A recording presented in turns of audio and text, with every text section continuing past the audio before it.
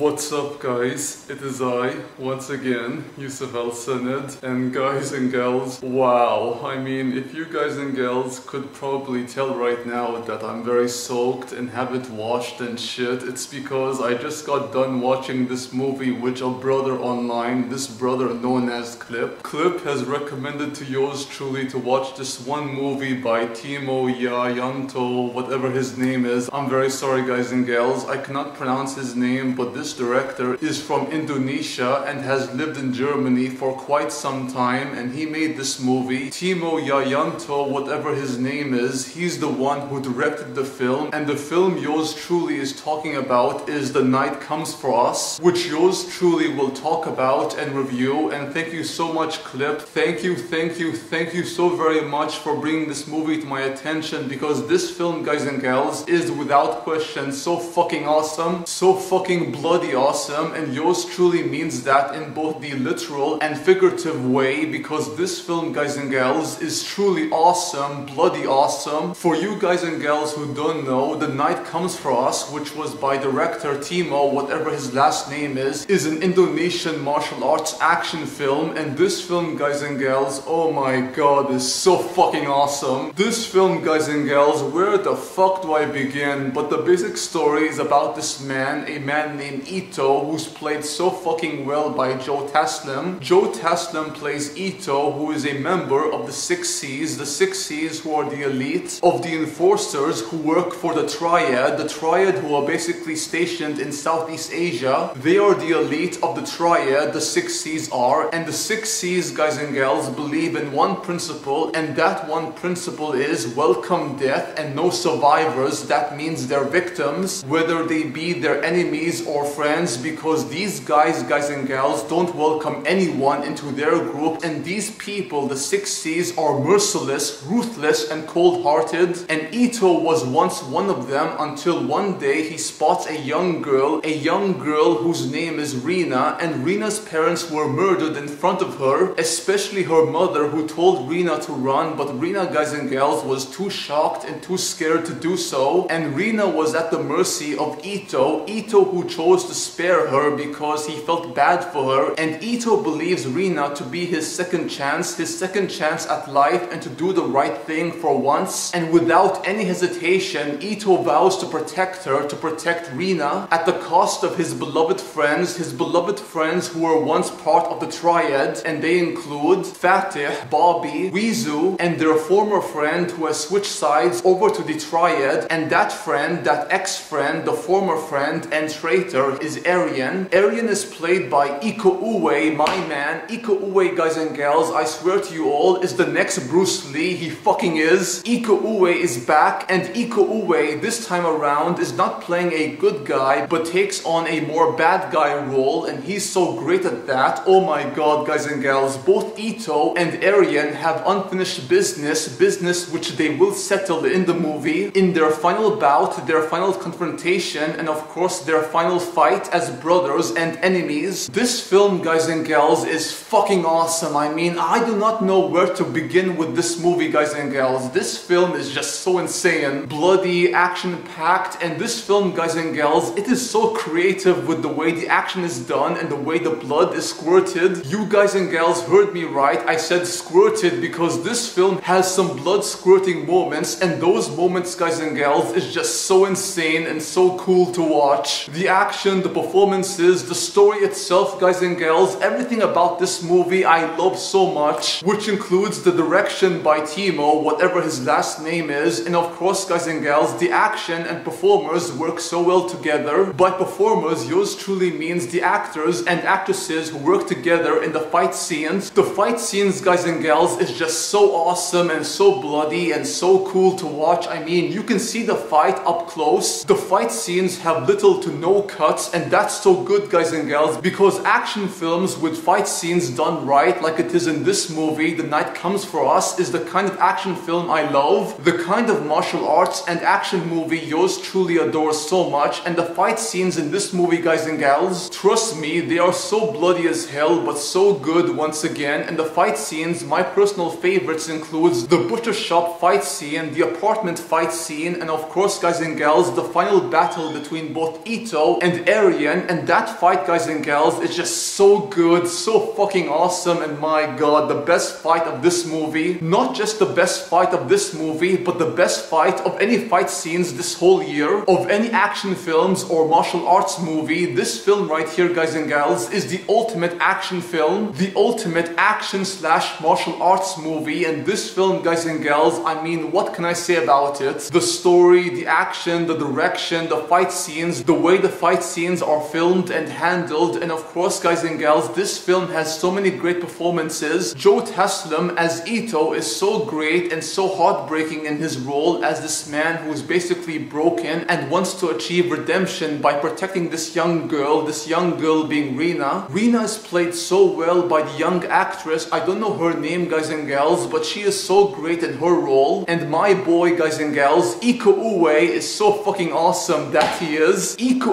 Guys and girls, I mean he can play both a bad guy and good guy, a complex bad guy and Arian guys and girls, is a very complex and flawed man, a man who wants to achieve so much. Arian is so ambitious and wants to achieve greatness at the cost of his friends who he betrayed. These two men guys and girls, these two former brothers were meant to fight each other till the very end and fight guys and girls, they do and their fight scenes is just oh my god so fucking good and so fucking manly so bloody as hell but this fight scene guys and gals between the two their final fight scene is just so good. Zack Lee as Bobby white boy Bobby as they call him is so fucking awesome. I mean this guy is crazy and weird but so fucking strong. And Bobby guys and gals white boy Bobby is so fucking awesome. Abimana Aryasatya whatever his name is the actor himself he plays Fatih one of the friends of Ito. And Fatih guys and gals is played so well by Abimana Aryasatya Julie Estelle as the operator is so great and plays her character so well. Julie Estelle was one of the actors and actresses from The Raid 2 where Julie Estelle played Hammer Girl. Hammer Girl who was one of the best characters of that movie. And Julie Estelle as the operator is so great. And of course you have two other female characters Alma and Elena. Those two characters guys and gals are played by Dina and this one woman. Her name is Hannah Al-Rashid both of who were so great everyone in this movie guys and gals all of them were so good. And this film guys and gals I do recommend you watch it for the action the story the performances everything about this film guys and gals once again is so fucking awesome so bloody awesome. And that's why I do recommend you guys and gals watch the film if you wish. Thank you so much for watching. Hope you enjoyed the video. If you did please like comment subscribe if you wish. And do check out my gaming channel where I do let's play series gaming